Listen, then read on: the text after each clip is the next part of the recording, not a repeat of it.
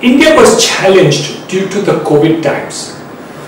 Lockdown, which was very strong, but it helped to prevent mortality in deaths, which really would have destroyed our economy and mortality would have been immense. This happened even in the Western countries with good health infrastructure. But this affected negatively the economy and manufacturing of India. Fortunately, now with the opening up, all this has sprung back. International trade has definitely come back to normal or close to normal. We have found that operations in manufacturing throughout the country have increased and improved. The commercial establishments and businesses and financial transactions are got back to normal.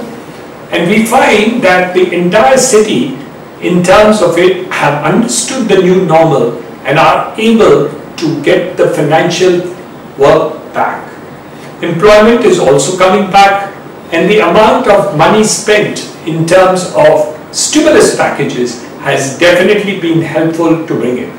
Barring a few sectors like tourism uh, and other activities, hotels and slightly on the retail side, all the rest businesses are getting back to normal very, very quickly.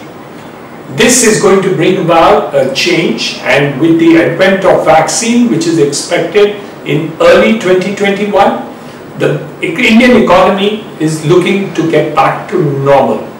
The new normal will mean safety precautions to be taken, but business will get back to usual.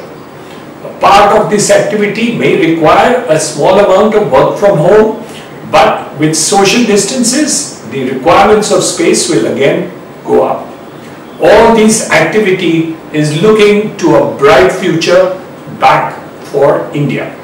The India Incorporate is really happy that the situation has changed.